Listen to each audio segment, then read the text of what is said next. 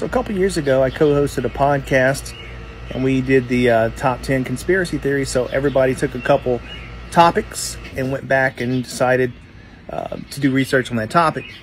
But one of the ones I did was flat Earth. Thought it'd be funny. I wanted to make fun of it. Come to find out, I couldn't debunk any of the flat Earth um, theories. Every time I looked into a flat Earth theory, uh, like the rays of the sun, or the fact that um, you can't see curvature no matter how high up you go, the fact that all NASA photos are created images and not actual images, uh, the fact the moon doesn't turn at all, it's just synced with us constantly. There's so many things that I couldn't debunk, and I kept looking into it, and looking into it. So when I got on the podcast, I was like, I don't, I, okay, I'm halfway sold on it. It's not that I believe it, but I can't debunk it. And the more I looked into it, the more crazy it got on how I could not debunk it. And then when I would talk to friends and family, they'd tell me I'm crazy. And then I'd look into it more because I'm like, I have to prove to myself that I'm doing my due diligence. I'm looking and looking and looking. And no matter what I did, like I can't disprove flat earth. And it blew my freaking mind. So now I don't know what to think.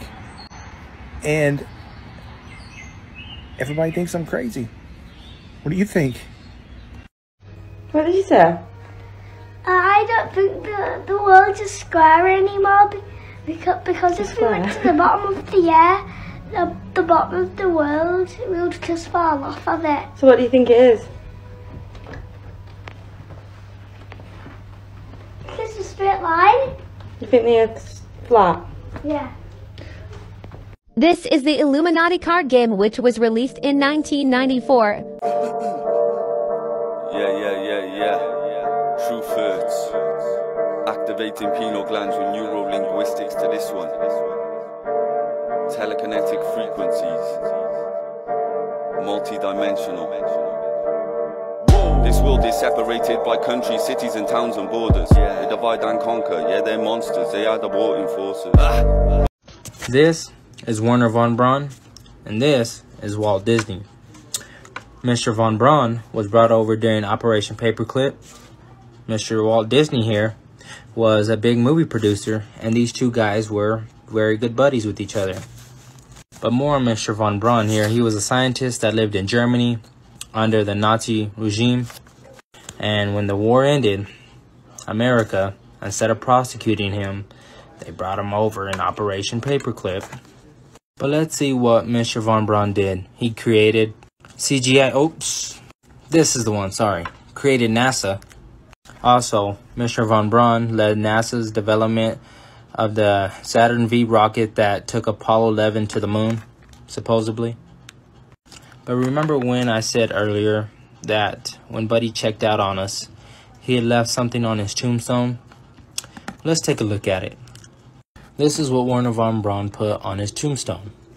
Psalms 19:1. Wow, a Bible verse. And what does that Bible verse say? The heavens declare the glory of God, and the firmament showeth his handiwork. Wow, Wernher. So why would a dude that believes in space put Psalms 19:1, a Bible verse that talks about the firmament? Well, maybe he knew that we weren't going to space and maybe we live under something like this. But what does NASA mean? To beguile, to deceive, to mislead. All of this I just said, you're not going to get unless you do your research. So go do your research. That's the only way you're going to learn. Haven't you heard? The globe is flat.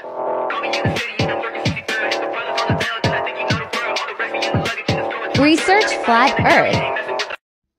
Okay, people keep asking this question, and the answer is simple, and it's one thing, and it's one thing only.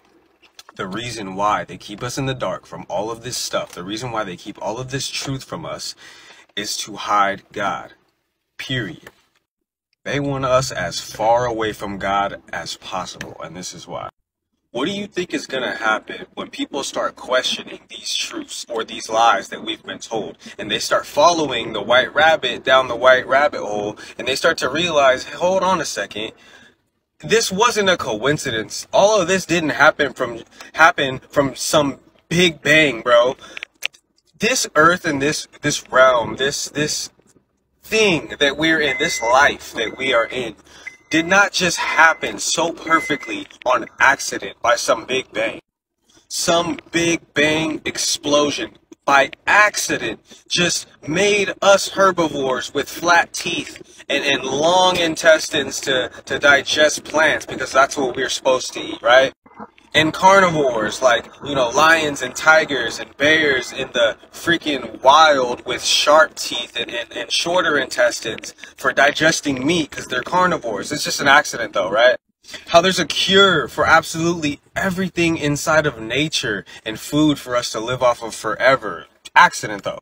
The big bang how our bodies have the ability to heal themselves, how a, freaking lizard has the ability to regrow limbs, how certain animals in the wild are, are have certain poisons and certain things that they do, certain special abilities to hunt other animals. It's like all these things are perfectly, you know what I'm saying? The way that bees help, you know, humanity, bro, like everything has its purpose. Everything is perfectly placed and perfectly created all by accident though, by some big bang, right? The closer we get to the truth, the more we are going to wake up and realize how real God is and how God created all of this. The closer we get to God, the more powerful we become. The more powerful we become and the more our vibrational frequencies rise, the more spiritual gifts we unlock within ourselves the more spiritual gifts that once you start unlocking spiritual gifts within yourselves and you start doing things that you never thought were possible, that's when you're gonna realize God is very you're you're undeniable now that God is absolutely real. That's where I am. That's what I hope to get everybody to, and I'm just trying to do my part and help people realize how powerful they are. Because once people get close to God and once people reach their full potential and realize how powerful they are, we won't need them anymore. And by me, and by them, I mean this this beast system, this artificial system, this government. You know, they don't want that. They want us dependent on them. They don't want us to know God. Ooh, this world just keeps getting weirder and weirder. But which is weirder? The world that it's always been, but that we've never understood or really ever known? Or the world that man has been trying so desperately hard and tirelessly to convince us that this world really is? That hurt my brain. Auntie is about to blow your mind because my mind is blown. But you're gonna have to stick around because this will be a multi-parter. A lot of the proof that I have to share will gobble up a lot of the time in these videos, so it might be a two or three parter. And trust and believe, if you watch part one, you've got to watch part two and three, because that's where the juicy stuff's gonna be, yo. There have been a lot of people sharing proof over the past couple weeks, myself included, making it difficult for any of us to deny that the things we were taught when we were younger, well, we were taught wrong. But first, we know this has to be said. These videos are purely for entertainment purposes only. All facts stated are speculation. There is video floating around of one concerned citizen calling out NASA for potentially fraudulent behavior at his local county commissioners meeting. Claiming NASA's use of things such as harnesses, invisible wires, and green screen technology in order to fake footage from the ISS. He also shared multiple examples of video proof. I shared a video about this a few days ago. Go check it out. Couple that with the truth now being exposed about the moon landing never really happening at all, with Buzz Aldrin himself becoming extremely vocal about it never really happening, explaining it was staged and filmed on a studio set right here in the good old US of A. After keeping that secret for almost a half a century, the filmmaker himself reportedly admitted this too. That's not even mentioning what just recently happened to SpaceX. Shortly after launch, it appeared to have run into something and burst into flames.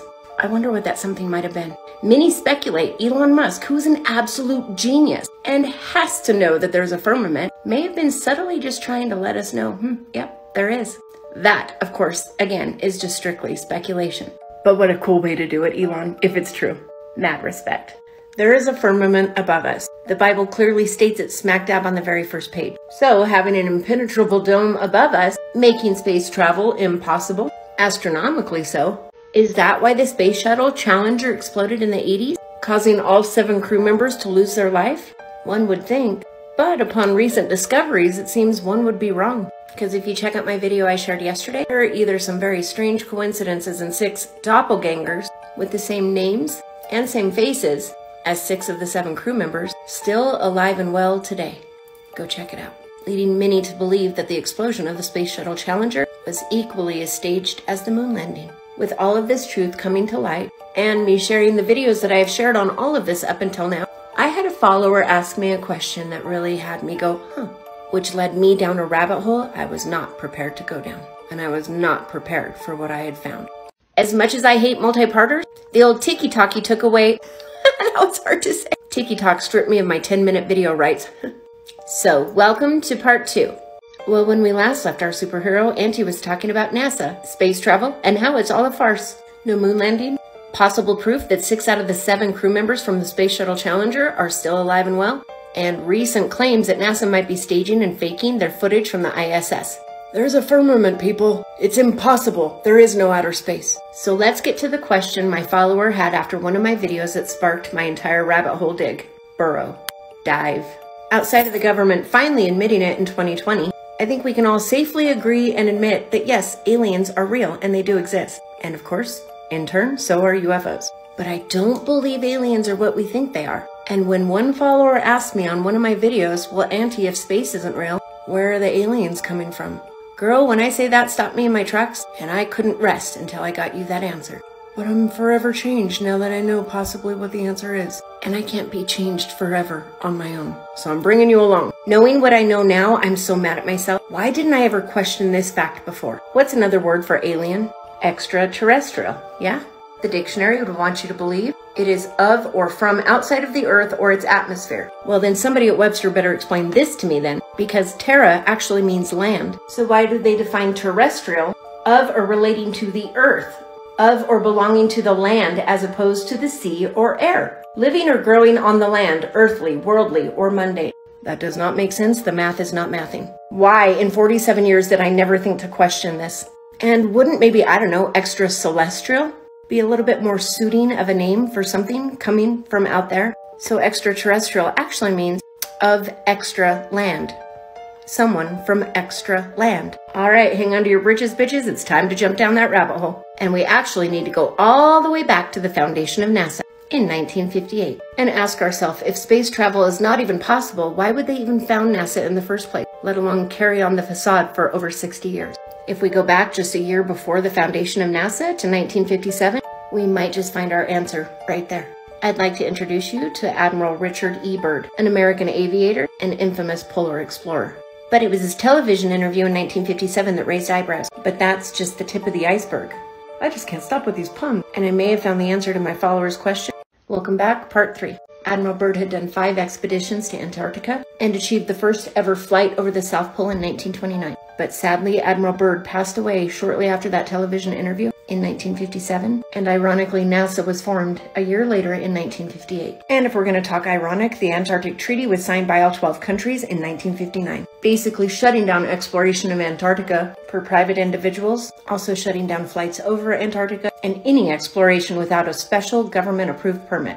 Hmm. So now we really have to wonder was NASA just a diversion? Uh, look up here, not down there, to keep the mysteries of whatever truth really lies in Antarctica under wraps? But I promised you I'd get you the answer to your question. If space isn't real, but aliens are, where do they come from? When I tell you I was not ready, I was not prepared for this, not one bit. I stumbled upon a story, a story about Admiral Byrd's exploration of Antarctica between 1946 and 47 he referred to as Operation High Jump. This may very well be the reason they are hiding Antarctica's truth from us all. No, aliens aren't coming from other planets or galaxies. In fact, they may be visiting us much closer to home. So this whole time, we've been looking for aliens in the entirely wrong direction. There is no outer space. And more importantly, where is this land that Admiral Byrd had discovered? 76 years later, and it's still not even on our map. Undiscovered land beyond the South Pole? Extra land.